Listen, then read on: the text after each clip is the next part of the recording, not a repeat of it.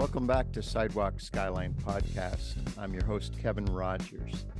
When it comes to medical conditions and healing, Christians hold a range of views from the intervention of doctors and medicine, alternative practices, and healing that comes from God. I'm not a doctor and I would never use my podcast to offer medical advice. Um, but I would always encourage people, like I would as a pastor, to take a threefold approach to getting help. First, we always ask God to help us in all things.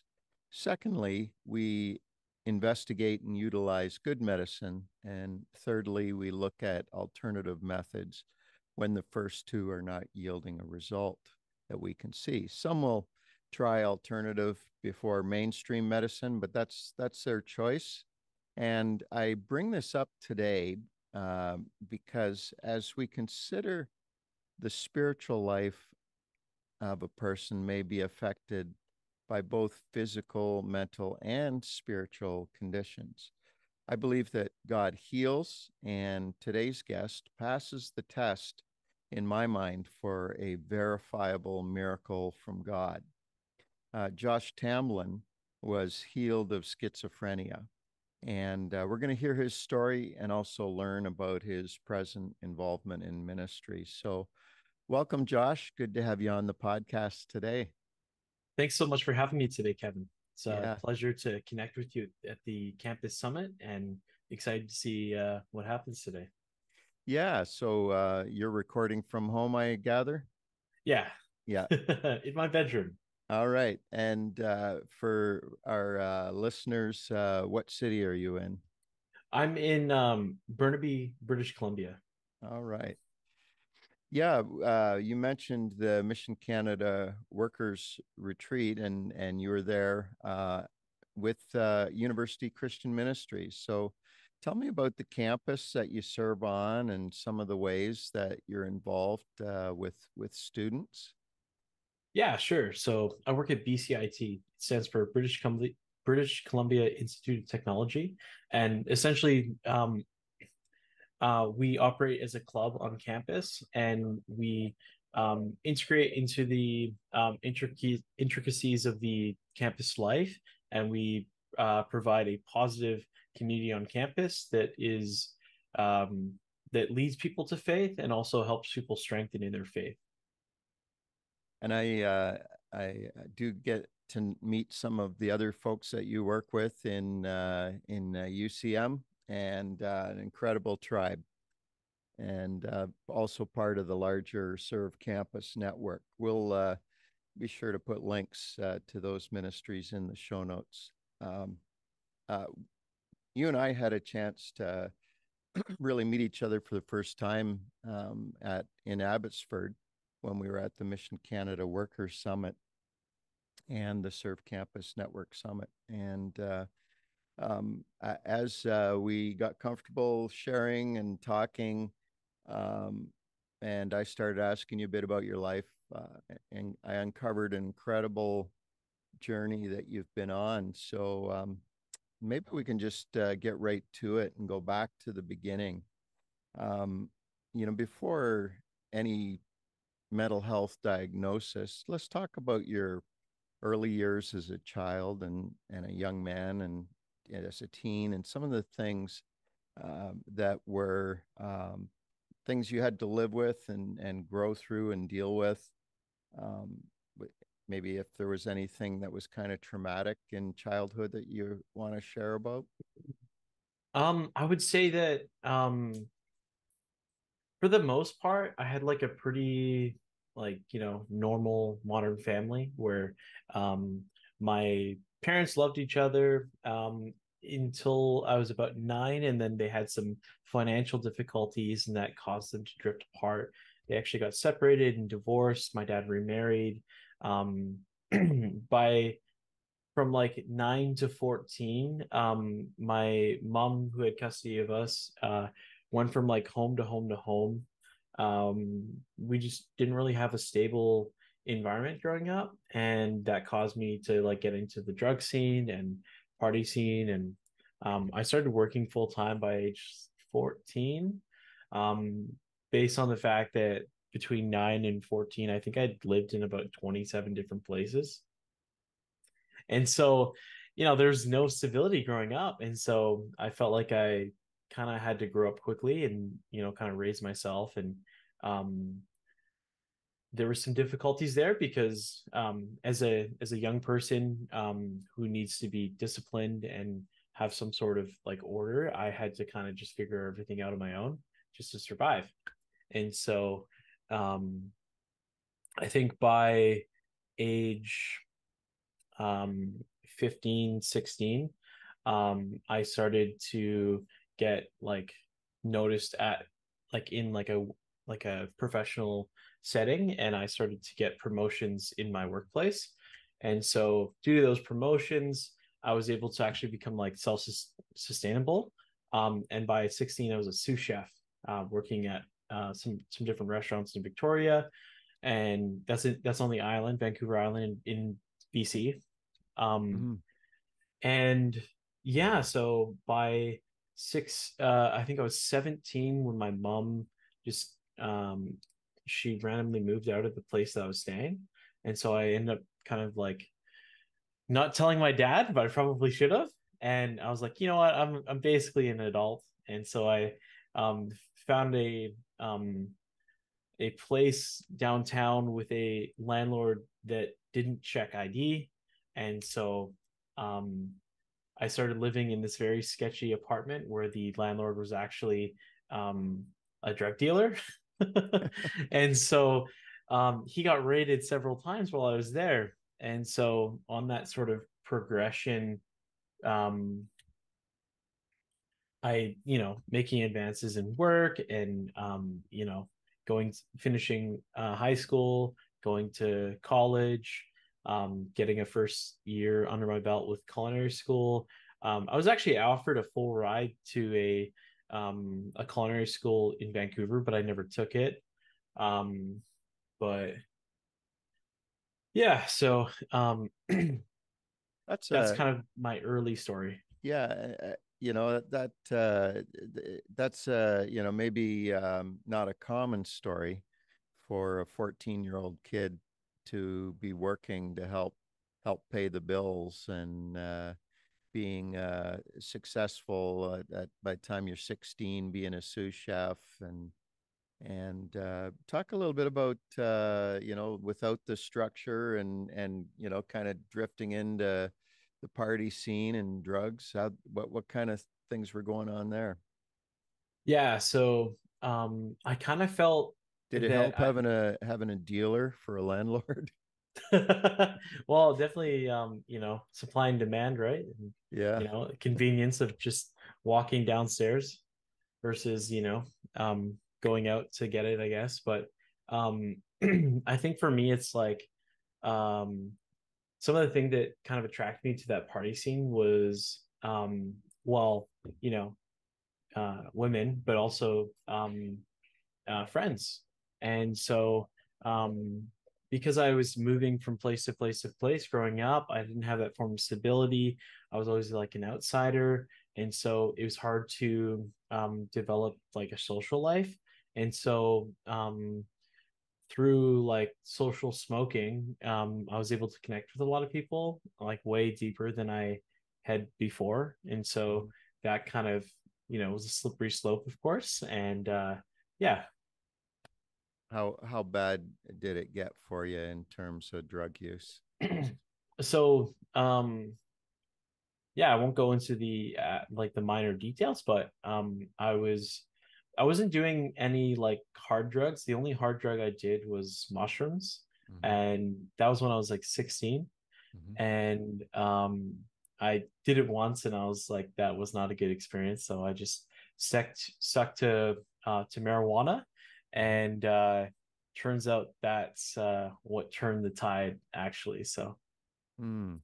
I even in that scene with my friends doing like coke and E and MDMA, and I was, I I just thought they were dumb.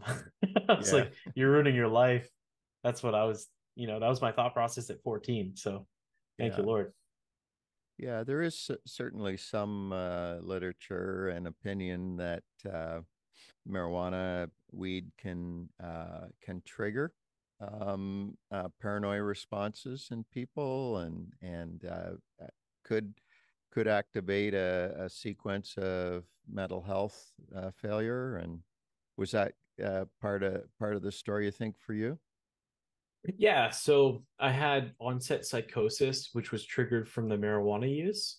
Mm-hmm. And I didn't actually notice it until I was about 19, working as a chef, and uh, ended up actually losing my job mm-hmm. um, mm. because I was distracted.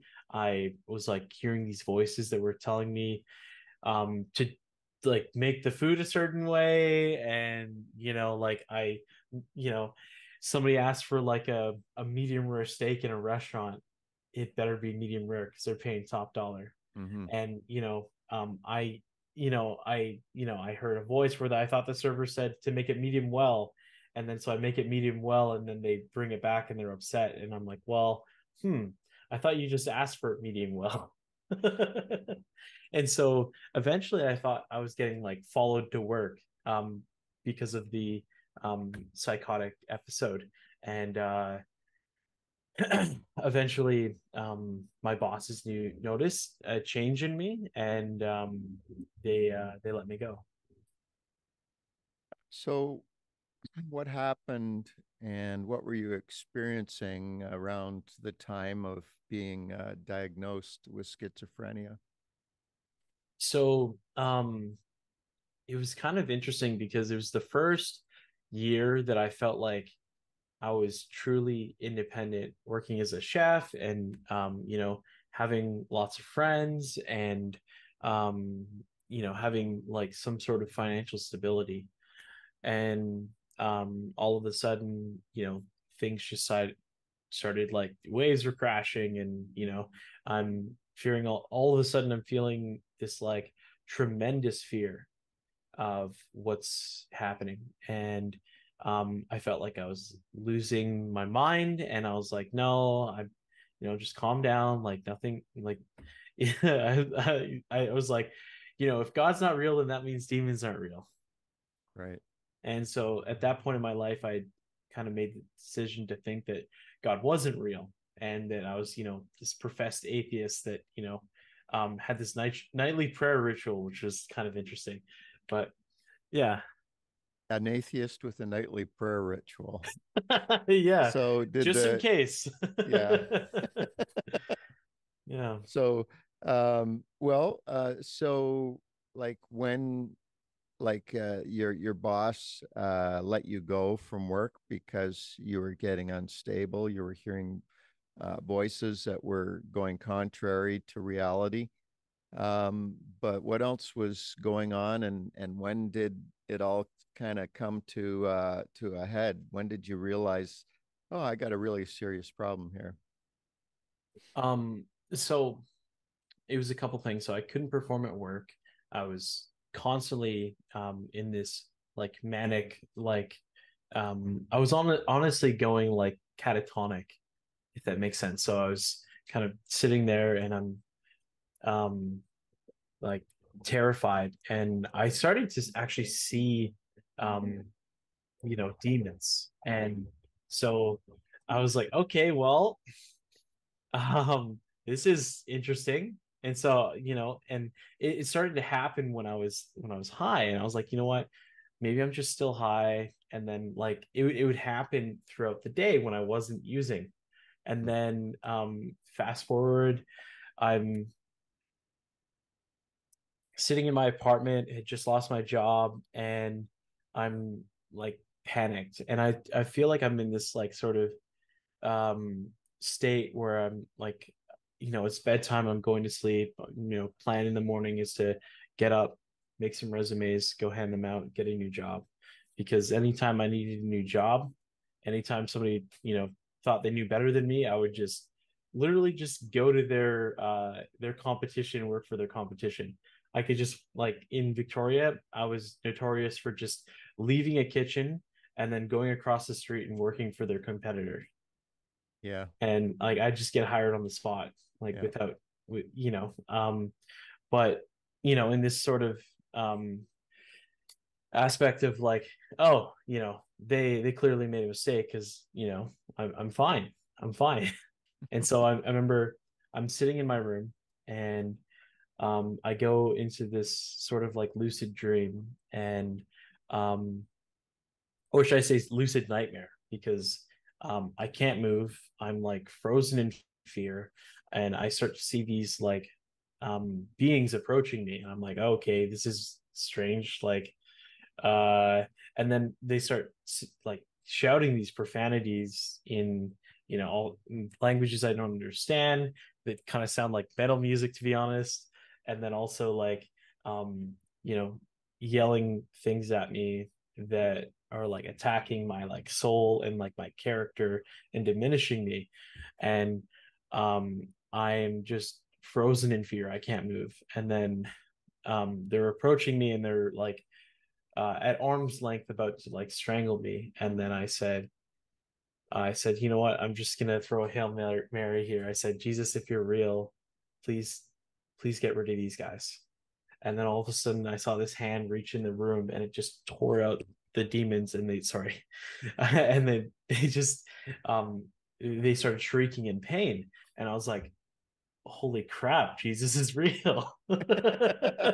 and so I'm like 19 years old at the time, and I'm like, uh, you know, I, I better get some help. And so, um, you know, I'm like, oh, but I'll do it tomorrow. So I'm like, I'm getting up and I'm getting ready for the day. And um, I feel this like feeling that someone's following me Eh, with like malice intent. And i'm i i'm walking downtown and this is like a 30 minute walk that i would make daily. And i feel that they're getting closer and closer and closer. I'm like um and you know i'm like almost taunting these things back in my head like you can't catch me i'm you know really fast and so i just took off just running and i used to be um uh, like pretty athletic. I was like 140 and you know I I could run 10k like it was nothing. And so I'm I beeline it downtown. I'm there within three minutes, and I get to the front of the uh, the Bay Center there, and I'm just out of breath because I just you know basically ran.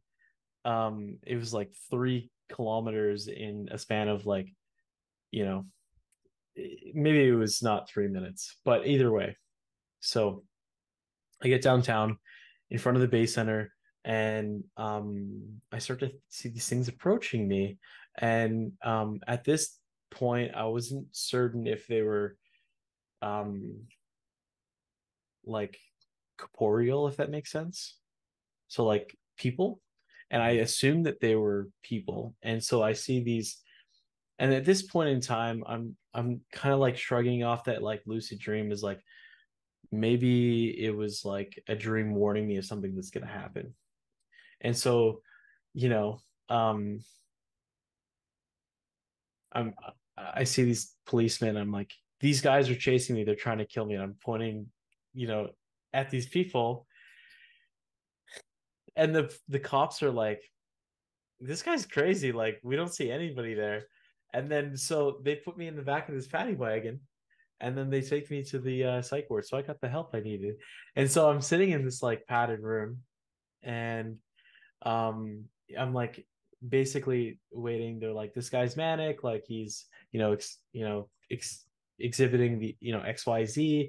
Like we need to make sure that he doesn't hurt himself or hurt somebody else. So they put me in this four padded, like four walled padded room. And then the first thing that happens is there's this big security guard. He's probably like 250 and like much taller than me, much stronger than me. And he's he comes in the room and he's got this like um he's probably got like Ativan in this like needle that they're trying to inject me with. And um I get the silly idea that I want to fight these guys. And so he comes back with like 10 other guys, and I'm like bouncing off the wall, like kicking off and like somersaulting and like wrestling these guys. And then I just get pinned to the floor with like tremendous force because I'm like way smaller than these guys. Like there's no there's no way I should be doing this. But you know, I was just an idiot. And so um they pin me down and they they um they shoot me with probably Ativan and then I'm sitting there just like just completely like um without emotion and just kind of um empty. And I'm you know taking the time because I they, they sat me in this room for probably a day before they let me out with just like meals or whatever. And it's not jail so technically they can't hold you for too long but so they're they're feeding me meals or whatever. And then um i'm i'm sitting there kind of like self-reflecting on like the past like week of events and i'm just thinking to myself like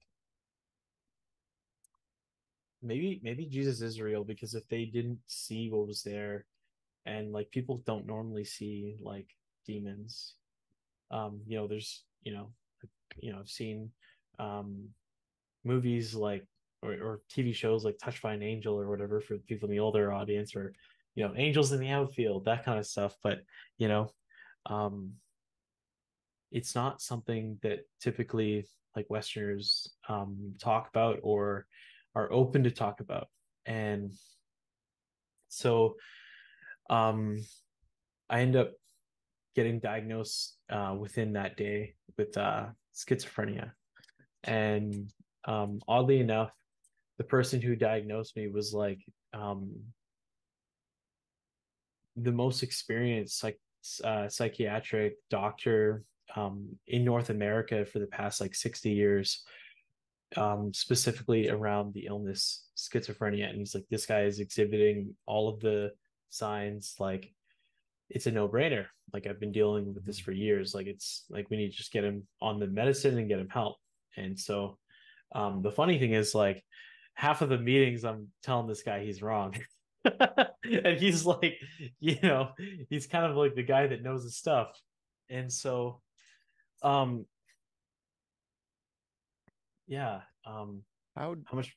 How did you, um, like as you think think back on it and uh, and what you've been through, um, how do you parse out whether it was actually demons or whether it was uh, you know, just a hallucination from, uh, you know, uh, brain chemistry uh, not not doing what it's supposed to do. Like, eh, do you um, do you wonder about that, or how do you uh, how do you determine? I mean, when if somebody who's schizophrenic says that, um, you know, oh, I'm uh, the this guy keeps showing up and he's telling me to do this and you know it's not a it's not an actual person like like this is this is such a mystery to people and uh how, but you know and, and i'm not asking you know to for you to figure it out for everybody else but for yourself how did you know it was demonic? And and what part was demonic? What part was uh, an an actual disorder? Are you able to? Yeah. So it? my my thought. Okay, so you know, don't sell me to the wolves here, but this is my kind of philosophy about you know the spiritual realm and um like East versus Western ideologies regarding mental illness. And so um I would say that mental illness and um spirits are synonymous. It's just the way that the West describes them to remove the terrifying aspects of them. And mm-hmm. so um, I think that when someone is ill and severely ill, um, you need to pray, of course, like you said, um, but you also need to um, go through like the process with the medication because the medication, I would say for me, kind of like grounded me, it landed me in a place where I could then go from the like you know zero to hero, right? Mm-hmm. You can and, connect connect the dots, thought control.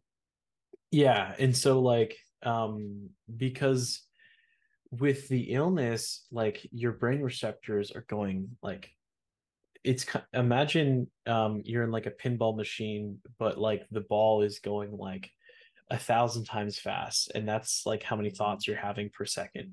And so your brain receptors are just like severely overworked.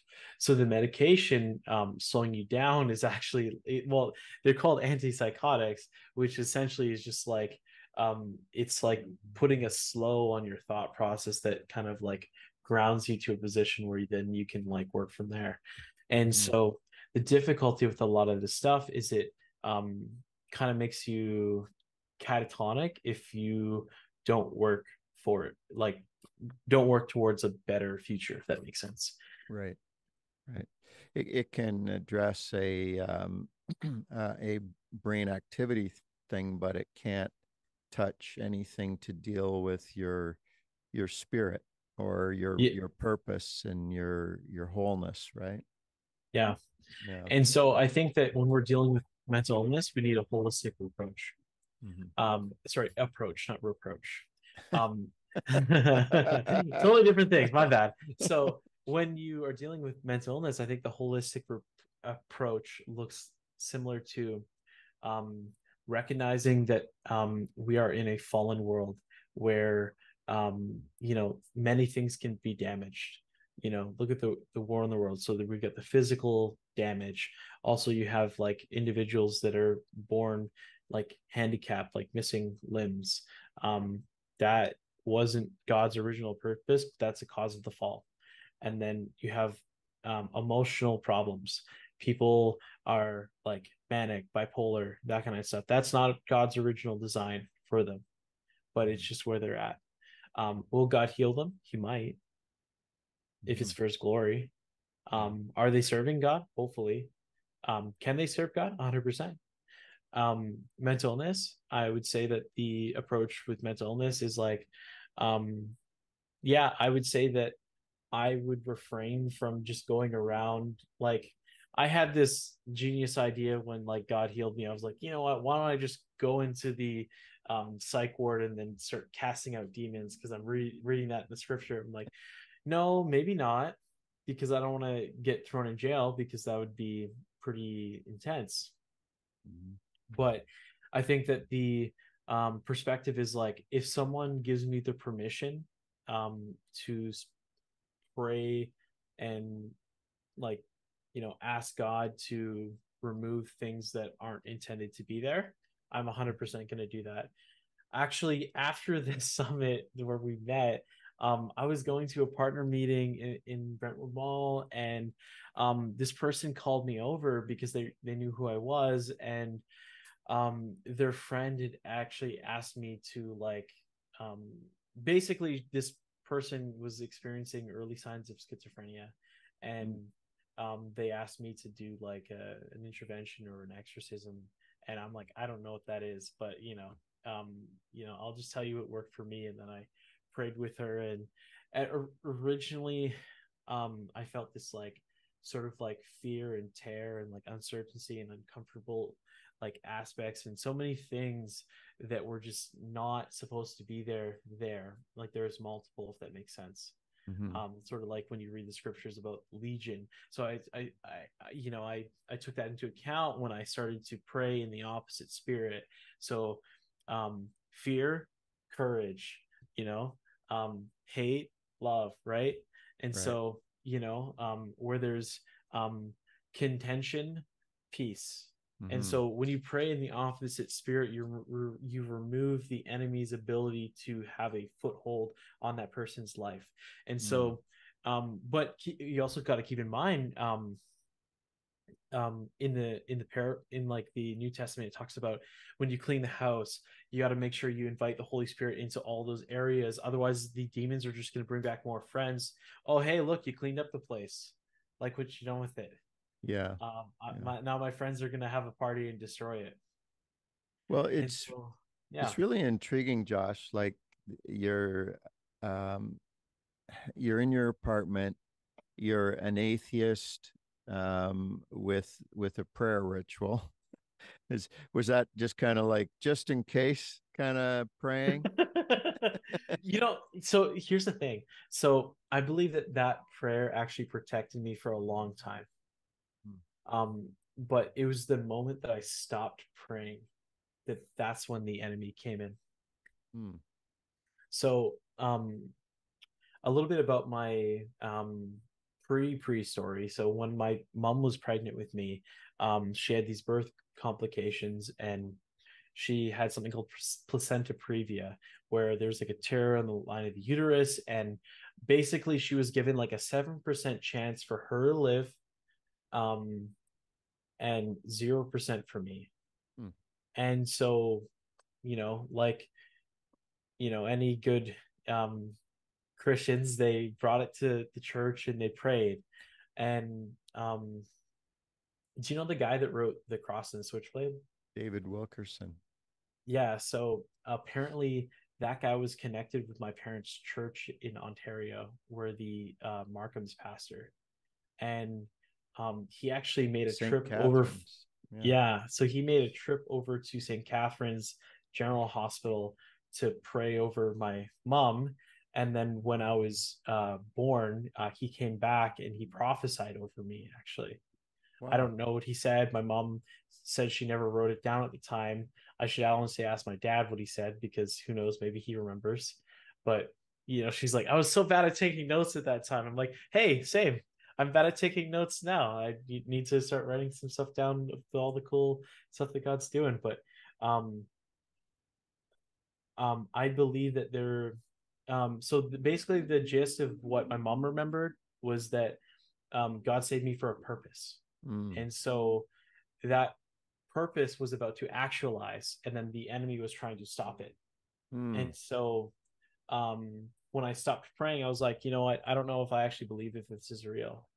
And you know i'd been to church like four times since i was nine years old at the age of 18 and so or 19 rather. And so i'm sitting there and i'm like well um yeah i had a nightly prayer ritual. It seemed contra- contradictive and i was like you know i don't like hypocritical people. Um i don't think it actually makes sense for me to continue praying because i don't actually think this is doing anything. And um when i stopped that's when the enemy came in. Wow. Wow. Um at what point uh did you make a decision uh that uh yeah jesus is real and uh i'm going to give give my life to to Jesus. I'm gonna stop trying to figure it out on my own. I'm gonna I'm gonna be a disciple. When did that happen? I would say that um, when I was in um, so I ended up being admitted to the psychiatric ward for about three weeks after mm-hmm. that like one day stay in paradise, you know. Mm-hmm. And um my dad was the first person to show up to meet me. It wasn't any of the, you know, hundreds of friends that I connected with. They all were aware of what was going on because, uh, you know, I had a very um, uh, intrusive friend post about it on Facebook. And, um, you know, so everybody knew. And, um, yeah, so um, none of my friends showed up to to meet with me and so my dad shows up and um, with him was this um, young korean man and he had a bible with him and he handed it to me. And um, he, he actually had schizophrenia as well. And this was one of the years where he was actually doing well with the schizophrenia. And so he was he was there and he was there to encourage me. And um i you know i went to i got like a nightly pass on like week two and i was able to attend like a church service and um that was a really special time because the guy who was speaking um got freed of like drugs and alcohol and he was pastoring and i i heard the lord say that's going to be you one day and i said no it's no it's not. No it's not. It's no way. And so i remember i'm um i'm sitting alone in the um the hotel room let's call it and um you know there's like very little privacy in this area because you're basically just in like hospital beds in with like a bunch of other like strangers. And um you know people are having all sorts of like nightly terrors and stuff like that and it's really traumatic. And so i'm sitting there and um so i i turn on the light of my phone and um I've kind of got it like resting um, between my legs and kind of like shining up on my chest as I'm like reading like I opened the Bible for the first time, and oddly enough, opened it right to uh, Joshua one, and um, the first verse my eyes fall on is Joshua one nine. And it says, um, "For I've commanded you, be strong and courageous. Do not be discouraged or terrified, for the Lord will be with you wherever you go." And in this moment of hearing like all of these nightly terrors, like the other people around me, and like feeling like fearful and like uncertain of what the future looks like because I've just been giving this like lifetime diagnosis. Like, yeah, I'm terrified. And all of a sudden, when I read that, I just felt like clothed in peace. And so I said, um, Jesus, I'm going to follow you for the rest of my life. And it, I don't know what that looks like, but um, I want to do great things for you. And I'm not content with um, this label they've put on me. Hmm. Wow. So you made your decision to follow Jesus while you're being hospitalized. And, uh, you know, the, it's incredible. Like he, when you go back to the, the story of, you know, being in your apartment and terror, terrified as you see these demons, Jesus, if you're real, you got to take these away and the hand and the shrieking and away they go um yeah i mean that's that's uh it, it that's an interesting place when jesus says come follow me. Yeah. Yeah you could say that. Yeah. So uh hospitalized uh on on medication i assume now? Mm-hmm. um and uh how long uh did you have that uh, diagnosis? And what did you do with your life during those years that you were diagnosed? Yeah so um in the beginning years when i got released from the hospital i racked up loads of credit card debt because of things going to collection and all sorts of stuff. And you know um i just basically racked up this mountain of debt because I wasn't working and I wasn't earning any income. And um I had to get a job to pay rent and all this kind of stuff. I you know wasn't living with family um still at that point um and so I basically um went back to working in kitchens and but because I was on medication I was a lot slower so I had to relearn a lot of things and um, you know, still super prideful at this time. So I wasn't willing to take direction from a lot of the people. So that wasn't uh, super great. Um, and so in the early years of taking the medication, I felt really slowed, and like I felt like the things I knew how to do, I was like quickly forgetting.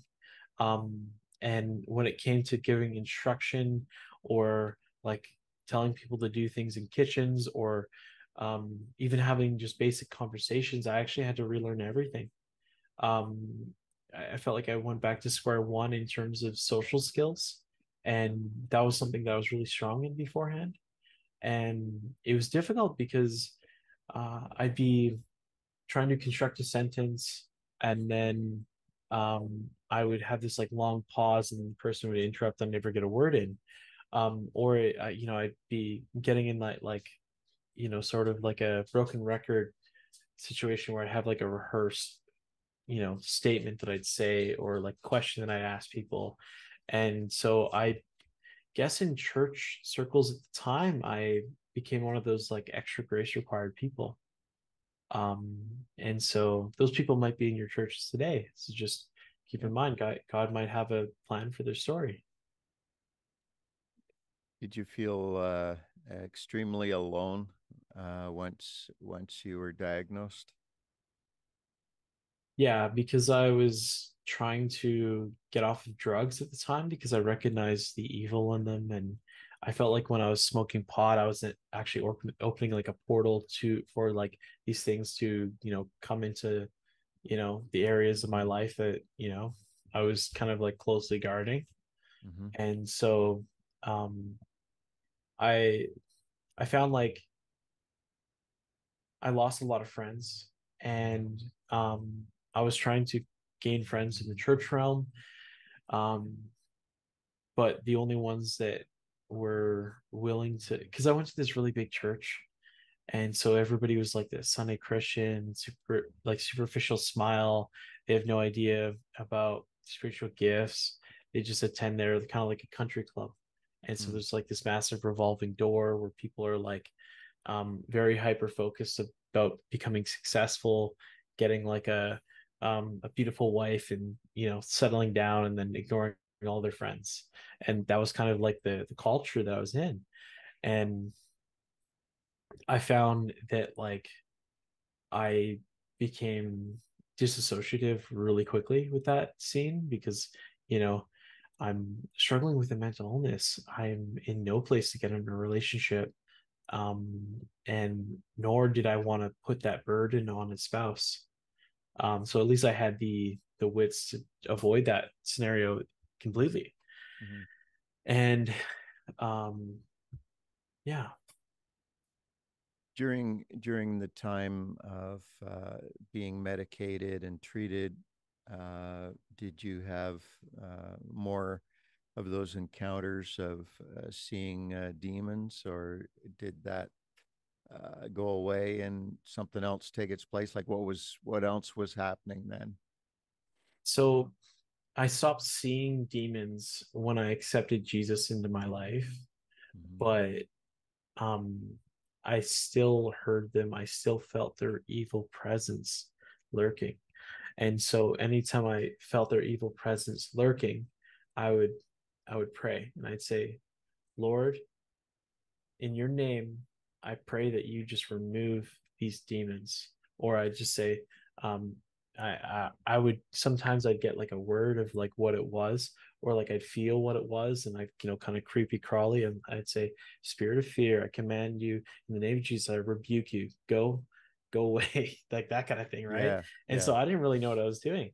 Um but uh, you know you kind of like figure it out as you go. And also like i don't know anybody in in north america that's done something like this or like prayed for miracle healings. Oh yeah by the way that's one of my other gifts. Yeah so would would you um during uh, those times it was uh, you know you're you're really being taught weren't you by this by the holy spirit how to how to um, navigate through that spiritual darkness yeah so um you know if you look at Psalm 23, it's like, even though I walk through the valley of the shadow of death, I will fear no evil. For your rod and your staff, you comfort me comfort me yeah. and you protect me, you guide me, right? Yeah. And so yeah. as I'm walking through this like spiritual unknown, um, just fully reliant on Jesus because I have no idea what's going to happen. There's, you know, I've, uh, you know, in, in the early days, I made several Google searches trying to figure out if like there was cures for schizophrenia and there wasn't any known to man and then i'm like reading in the gospels and i'm like god you like gotten rid of this legion and you know cast out these demons and you tell us to do that. Why can't you heal me?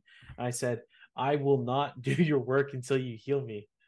Mm. and um you know uh uh i remember hearing this distinct you know voice saying like josh your healing healing is already written just keep pressing forward and so mm. um in this scenario in these like times where I was so resistant to what God wanted me to do. It actually took me five years to realize that I was supposed to go to Bible college to get some training. yeah. yeah. Well, so um, well, let's let's talk about that. You know, you you had this this sense of direction forming, this sense of purpose after uh, dedicating your life to to Jesus, and uh, then uh, when you went to Bible college, were were you still um, on your meds? Were you still under diagnosis, or uh, yeah, what was going on? I wasn't healed at that point. Yeah. so you went to went to Bible college, but uh, you were medicated. You were getting help, but and and the the Spirit of God was was teaching you how to how to live uh, with within that darkness and find your way through, right? Yeah. So one of the contingent contingencies for Summit actually um, allowing me to continue my courses was is like they wanted to make sure that I was upholding the government standards that they required me to do with taking the medication and you yeah. know you know it totally makes sense like yep.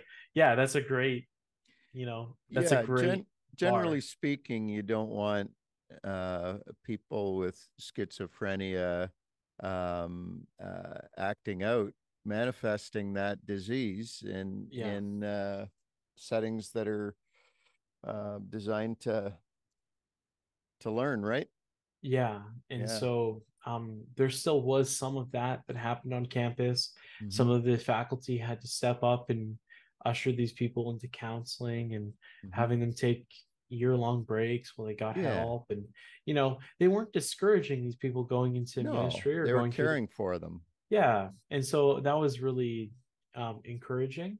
Yeah. Um, when I started to, um, you know, see some of the doctors over here, um, so a couple of weeks into um, Bible college, the first doctors. Oh, actually, sorry. Let me let me um, circle back to a uh, prophetic word that was spoken over me before I went because it's relevant here. Yeah. So, um, I'm in this prayer group, and um, you know, I have this friend who um, he he was like one of the guys that um he would spend like five hours a day in prayer because he didn't work and you know he's like you know i'm not going to work unless jesus tells me to i'm like get off your butt you lazy you know and so he had he's like josh i have this eh, this word from god for you and he said um jesus is going to heal you of your mental illness I'm like, thanks, well meaning Christian, but I'm not going to just go off my medication if that's what you're suggesting. And he said, no, no, no, no. Uh, the second part is a doctor is going to confirm it. So when I went to Bible college, uh, I had three doctors in a row tell me that I should get a second opinion because they don't um, they don't believe that I have schizophrenia anymore. Hmm. And they're like, I don't, you know, I, they're like, I'm not versed in this area, but this is the sense that I get when I talk to you. And like when I usually deal with those people, they are like this, and you're like this, and you know, you're full of peace and joy, and you're always like making me laugh, but like, you know, versus not, right? And like they could just tell by the the mannerisms and the maturity that you know something had changed and they're like you should get this looked at and then the third one he said this medication is having adverse effects in your body and it's actually shortening your lifespan. Um, I need you to get the second opinion. But the second opinion was going to cost all sorts of money that I didn't have as a broke college student. And so I was like, um, yeah, that's great, doctor, but I can't afford to get a second opinion. And he's like, well, because this is like a life and death situation, I'm going to expedite this and just pay for it myself. I was like, what? and so I ended up seeing the psychiatrist, and it was this Muslim lady, and I basically just told her how Jesus healed me. And um yeah, she had, you know, she's like, Oh, that's really neat. Like, huh. She's like, I've never had this situation before because it's never been documented. It's never happened before. Oh, hello uh, have you met Jesus? so, so, uh, three three doctors all verifying that uh, we don't think you're schizophrenic. Yeah, yeah. So that that uh, recommendation then was to the Muslim doctor. Yeah, and yeah, yeah. And and what what was her uh, verdict? yeah, she said that you don't have this. Did she suggest that you had any anything else or just that you don't have that or literally nothing. She said that um, you know, as I examine you, I you know, it like she said that when I look at the notes of my predecessor, who was one of her teachers at one point, by the way, that's how Mhm. well known this guy was. Um, she's like, clearly he knew what he was doing. But when I look at you today and I see the changes by the way you act now versus how you acted in your chart, um, it doesn't seem like you're the same person. Mm. And um, I can't help but think that um, you've been you've been cured, and this is an incurable illness. And so she's kind of like, "What's going on?" So the verdict was that I've been healed. Hmm. Wow. So she, um, for the next six months, weaned me off my medication, met with me a couple times, and yeah, I actually just got to share my faith with her of how I found Jesus through, um, like the medication helped, but what really helped was connecting with the faith and Mm. Jesus and praying whenever I'd have these moments, and it eventually, you know, I'm here, and you're saying that I'm cured. So when when you so this would have been happening uh during your time at Bible college? Yes. Yeah. And uh so you got weaned off the medication and um have you had uh um how long has that been now? Uh, so it's been five years. 5 years. Yeah. Um have you um uh, had any uh any relapses or any uh times where you you went back to uh, that state of mind? No, not at all. Yeah. Uh, I I think that's verifiable. I mean, I Mhm. think your uh, your doctor's advice is is trustworthy, and it wasn't just a random doctor; it was a series of doctors. Yeah. That um, now being healed from such a dramatic condition's one thing, but learning now how to how to live uh, after being through I, I think this is a very traumatic uh, traumatic event for anybody to go through and and uh, it it had to be devastating uh, but by God's grace you experienced healing and what's it like learning to live in reality and deal with the mundane uh, things of life, uh, things like uh, re- relationships. Um, you you were in a, a very dissociative state, but now you can associate. Um, you were in a, a state where you you couldn't hold hold on to a job and you couldn't comprehend it, but now what's how how have you had to learn to catch up for lost time? Uh, what's Mhm. what's the mundane everyday life like for you now? So one of the uh, quotes that I've kind of taken with me, and uh, I don't think this was written by anybody, but essentially, um, I, you know, allowing God to kind of, you know, chisel away at the things that you don't want him to, being humble enough to realize that you're not enough has allowed me to turn my greatest weaknesses into my greatest strengths. Um, even with communication, uh, before I got saved and um, healed, I I was a I was a teenager. I wasn't amazing at communication. I wasn't. Um, I, in fact, it was probably more military style communication uh, with how kitchens work. Um, but you know, in my early walk with schizophrenia and the Lord um, healing me of that, um, it took me a really long time to adjust from the whole like this is how you can talk to um, people in kitchen. This is how you can talk to um, people in the church realm. This is how you talk to people in the church realm in the kitchen, you know?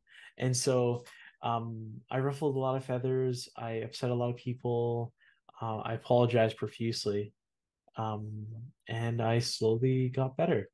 Um, but I think if you are satisfied with where you're at, you, like you never stop growing. So life is a journey um, where you're going to make so many mistakes, but that's exciting because you have the opportunity to become better and be the best version of yourself while allowing Christ to be reflected in your daily walk.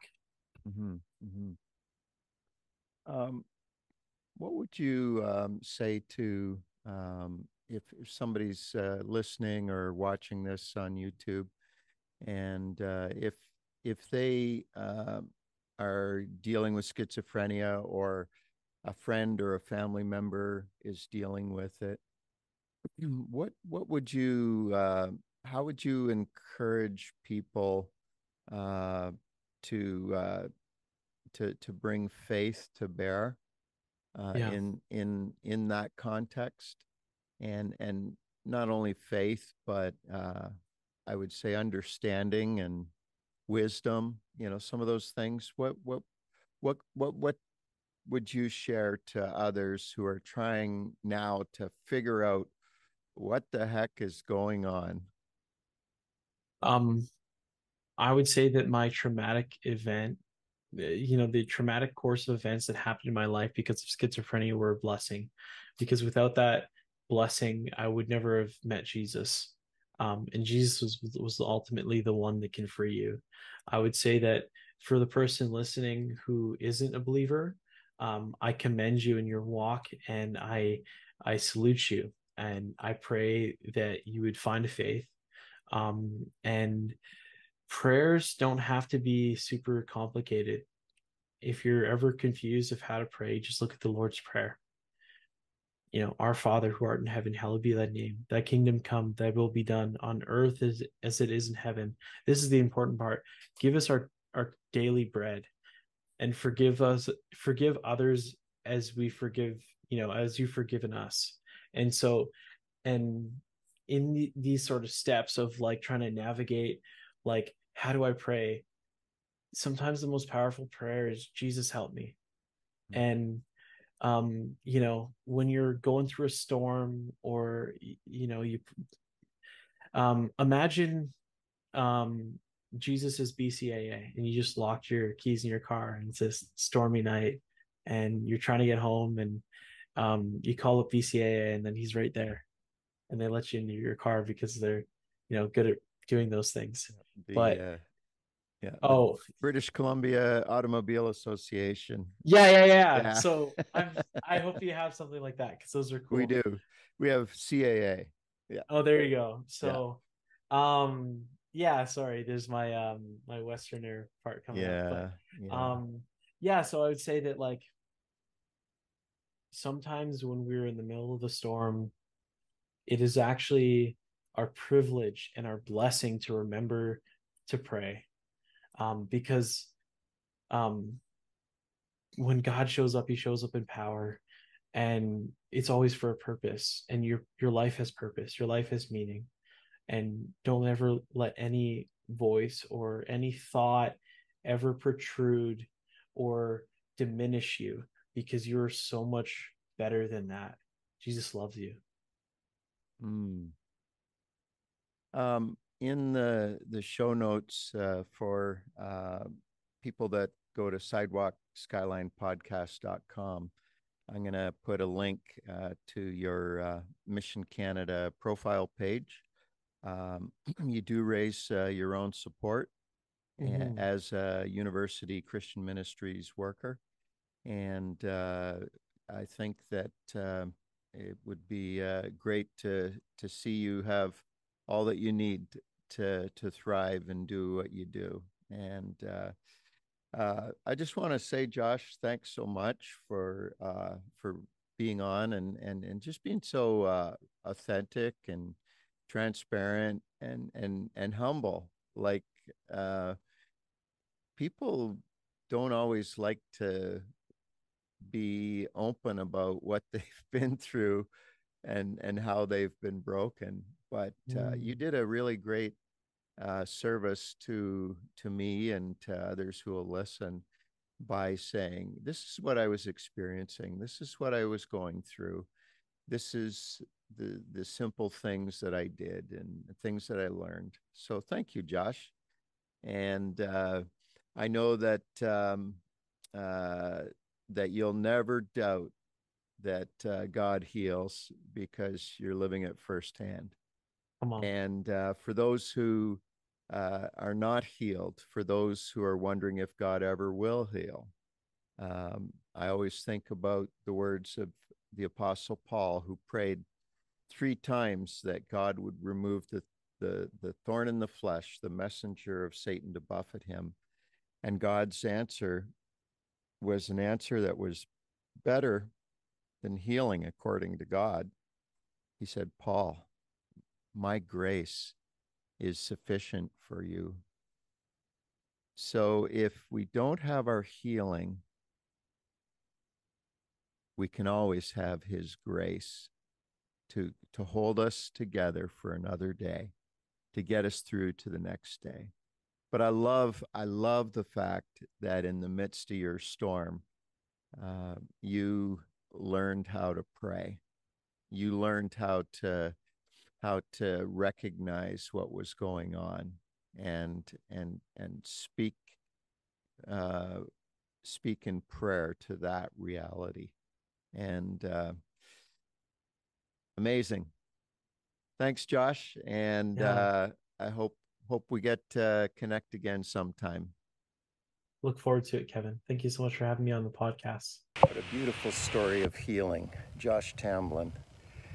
You know, on the streets of most of our cities, we're we're seeing a lot of uh, people that are wandering around struggling uh, with mental health, homelessness, uh, various addictions.